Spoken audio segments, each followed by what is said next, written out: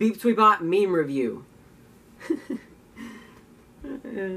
I sent this photo of me to just about everyone on my snap. I said meme this. I got a few memes back and holy shit, let me show you. When your uncle fucks the dog instead of you. Bestiality is always funny. Me trying to figure out what the... Me trying to figure out where the fuck I asked your... Me trying to figure out where the fuck I asked for your opinion. That's fucked up low. I don't really get it, but... That moment when you find the perfect avocado at the supermarket. But this isn't right! That's fucked up! LOL needs to be in the meme. Um...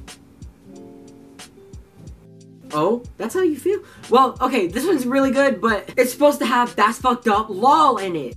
Okay, this one is one of my all-time favorites. When you text a girl to be her friend, and she responds with, I have a boyfriend. That's fucked up, lol. This one hits so close to home because like you're you you genuinely just want to be their friend. Like you just want to talk. Like, yo, what's up? But then she like hits you dead ass in the fucking chin with I have a boyfriend. Like, oh really? Like, you know, I have a YouTube channel. Like, what does your boyfriend think about that? When you find out the girl you are dating is actually your sister. That's fucked up, lol. Who sent me this? This isn't the meme, but there was this guy in the comments. He said, people in my grade keep saying Momo is my girlfriend.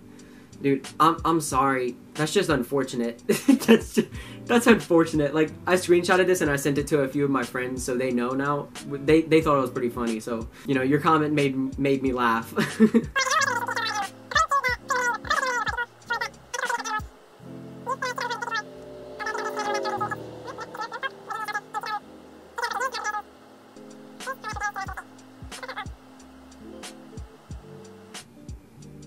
Damn, we need to do something about that then.